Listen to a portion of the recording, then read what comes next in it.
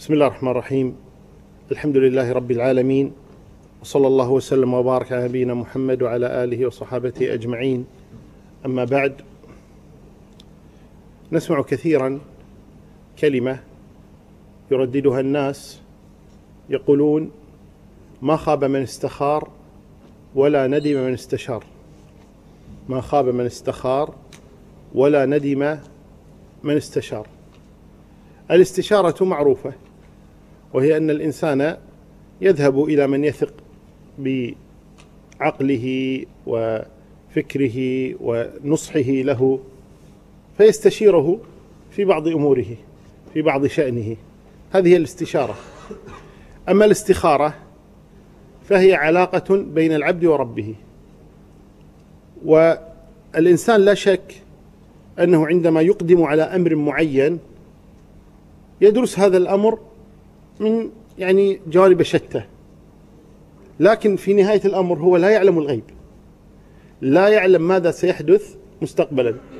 يعني مثلا زواج أو تجارة مع شخص معين أو سفر إلى بلد معين أو سكن أو شراء بيت معين أو ما شابه ذلك من الأمور. كونه يستشير ويسأل عن أهل الزوجة عن الزوجة عن الشخص الذي سيشاركه بالتجارة أو عن البيت الذي سيشتريه. هذا أمر يمكن الوصول إليه من خلال هذه الأسئلة. لكن المستقبل أمر غيبي. لا يعلمه الإنسان. ما يدري. قد تكون هذه المرأة صالحة في نفسها لكن لا يتوافقان قد يكون هذا الرجل صالح في نفسه لكنه في التجارة لا يحسن هذا الأمر. فالقصد أن الإنسان يحتاج إلى أن يستشير فيما يظهر له في المسلمات والأمور التي عنده ويبقى أمر الغيب أمر مجهول بالنسبة له. فيكل هذا المجهول إلى عالم المجهول وهو الله سبحانه وتعالى. الذي يعلم الغيب وأخفى سبحانه وتعالى. ابدا لا يخفى عليه خافية جل وعلا. فيكل هذا الأمر إلى الله سبحانه وتعالى. ولذلك النبي صلى الله عليه وسلم كان يعلم الصحابة الاستخارة. وكانوا يقولون كان يعلمنا الاستخارة في الأمور كلها كما يعلمنا السورة من القرآن. إلى هذه الدرجة. فهذا يدل على أن النبي صلى الله عليه وآله وسلم كان حريصا عليها وكان حريصا على أن يمارسها أصحابه عمليا. فكان يعلمهم الاستخارة وفي الأمور كلها. وعندما يقول في الأمور كلها هذا لا يدخل فيه أمر الطاعات. يعني لا يدخل فيه أصلي أو ما أصلي أستخير. أتصدق أو ما أتصدق أستخير. أحج أو لا أحج أستخير. لكن تقول أحج مع هذه الحملة أو هذه الحملة. أسافر في هذا الطريق أو في هذا الطريق يمكن. لكن في أصل العبادة الإنسان لا يستخير. أعصي أو لا أعصي. أطيع أو لا أطيع. هذه ما فيها استخارة هذه. تطيع ولا تعصي بدون استخارة. ولكن الاستخارة تكون في الأمور المباحة. فكان النبي صلى الله عليه وسلم يعلمهم الاستخارة في الأمور كلها. فكان يقول إذا هم أحدكم بالأمر وهذه قضية مهمة.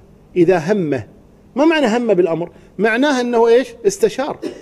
وأنه درس الأمر من كل جوانبه وإنما تكون الاستخارة بعد العزم. خلاص درس الموضوع وعرف جميع جوانبه. الآن يبقى قضية الغيب.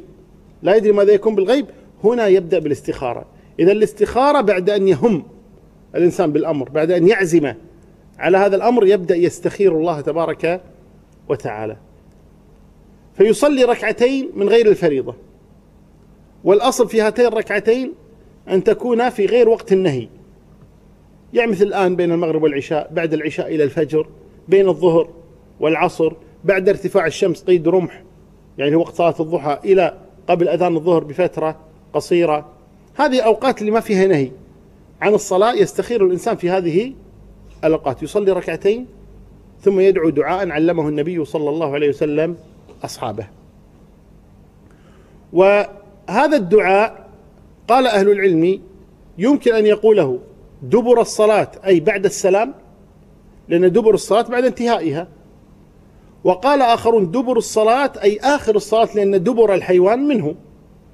فهذه مسألة اجتهادية بين أهل العلم. ما المقصود بقول النبي صلى الله عليه وسلم دبر الصلاة؟ هل يقصد آخر الصلاة أو بعد انتهاء الصلاة؟ الأمر فيه سعة على كل حال. سواء قال هنا أو قال هنا المهم أنه دعا بهذا الدعاء. فإذا هم بالأمر يصلي هاتين الركعتين ثم يسأل الله تبارك وتعالى فيقول اللهم إني أستخيرك بعلمك وأستقدرك بقدرتك وأسألك من فضلك العظيم.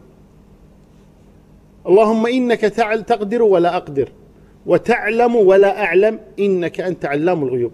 هنا إيش؟ وكل الأمر كله لله سبحانه وتعالى.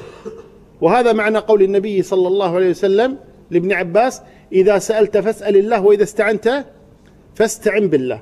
يكل الأمر كله لله سبحانه وتعالى.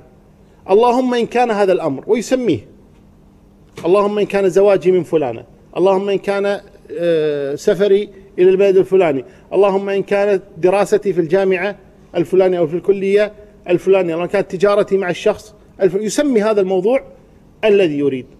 خيرا لي في ديني ودنياي وعاجل أمري وآجله فاقدره لي ويسره لي. وإن, وإن كنت تعلم أن هذا الأمر شرا لي في ديني ودنياي وعاجل أمري وآجله فاصرفه عني واصرفني عنه. ثم أقدر لي الخير حيث كان ثم رضني به. هذا لجوء كامل إلى الله تبارك وتعالى. طبعا الإنسان بعد ذلك يقدم على الأمر وهو مغمض مثل ما يقول. أبدا خلاص.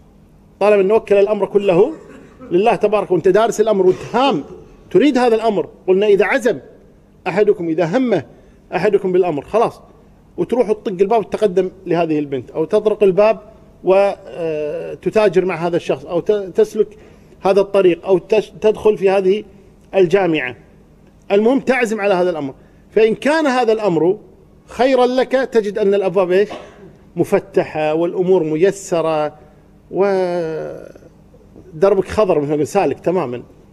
وإذا كان هذا الأمر شرا لك وأنت قد وكلت أمرك إلى الله تبارك وتعالى تجد الأمور تعسر والأبواب تغلق دونك وقد ترفض في الزواج لا تحزن لا تحزن قل الحمد لله لماذا؟ لأنك أردت أن يختار لك الله فاختار لك لماذا تحزن؟ سواء قدر هذا الأمر أو لم يقدر إلا إذا كنت غير صادق إذا كان الإنسان غير صادق يعني يقول اللهم إن كان هذا الأمر شرا لي في ديني ودنياي وعاجل أمري وآجلي فاصرفه عني واصرفني عنه. بس أبيه يا رب أبيه. ماكو فايدة؟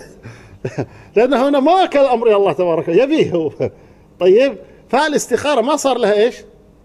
ما صار لها هذيك القيمة يعني لأنه غير عازم أنه واكل وكل الأمر إلى الله تبارك وتعالى. قضية ما يثيره الناس أنه يشوف رؤية أو أنه ينشرح الصدر أو هذا مو بالضرورة هذا أبدا. قد يحدث وقد لا يحدث هذا الأمر. لكن المهم أنك إذا هممت بالأمر وعزمت عليه استخر الله تبارك وتعالى وأقدم. ثم بعد ذلك إذا تيسر الأمر معنى أن الله اختار لك. وإذا شعرت أن الأمر غير يعني منسجم وغير ميسر فاحمد الله تبارك وتعالى وقل إن الله اختار لي. واتركه وابحث عن أمر آخر. هذا ما أقدم فيه آه، في جلستنا هذه موضوع الاستخارة. فالآن المجال مفتوح لكم للتعليق أو لأبحاث أخرى. تفضلوا بارك الله فيكم.